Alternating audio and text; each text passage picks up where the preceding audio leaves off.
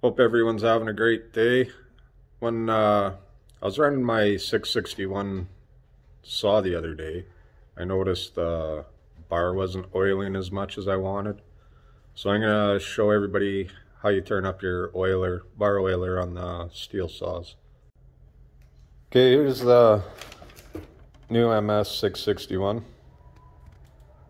32 inch bar.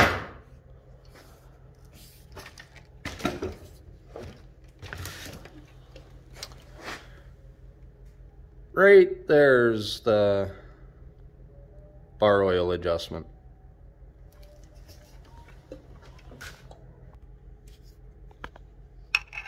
Okay, it just takes a flat screwdriver to turn it, but there's kind of a, it's hard to see,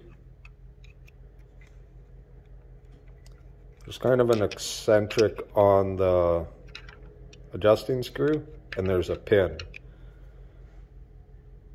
You got to drive that pin in and then you can turn up your uh, bar oiler more.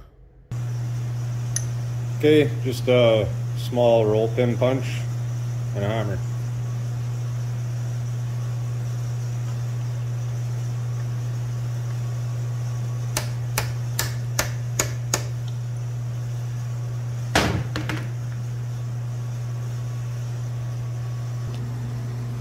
When uh, I drive the stop pin in, you can kind of see it here.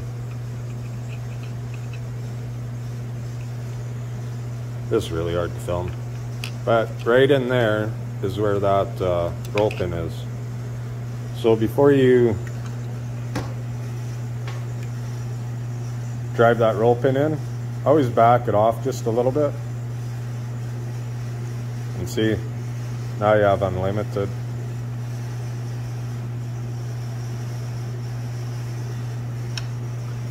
So we'll fire it up and see if it does anything. Okay, we'll uh, fire it up.